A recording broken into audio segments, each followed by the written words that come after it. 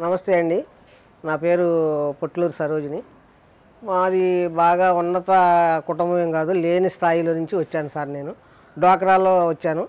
డ్వాక్రాలో నుంచి విజయ్ కుమార్ సార్ నన్ను ఎన్పిఎంలోకి మన జనరల్ సిఆర్పీల గాటికి పంపించారు. తర్వాత ఎన్పిఎంలో తీసుకున్నారు.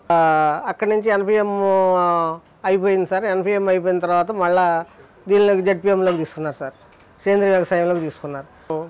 మన తడికిలపూడి కామర్కోట కేకవాట లో చేస్తున్నాం సార్. పశ్చిమ గోదావరి జిల్లాలో. కేక కామరకోట మండలం అని తడికిలపూడి గ్రామంలో చేస్తున్నాం సార్. రెండు గ్రామాలు నాకు ఇచ్చారు సార్. రెండు గ్రామాల్లో కూడా ఒక తడికిలపూడి గ్రామంలో పదమూడు వందల డెబ్బై రెండు మంది రైతులు ఉన్నారు సార్.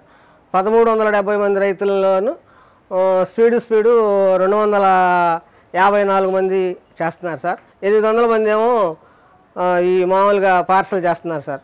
ఆ పార్సల్ వాళ్ళు కూడా ఇప్పుడు కొంచెం ఇంకా ముందుకు వస్తున్నారు సార్. చంద్రబాబు నాయుడు గారికి నా అభినందనలు సార్.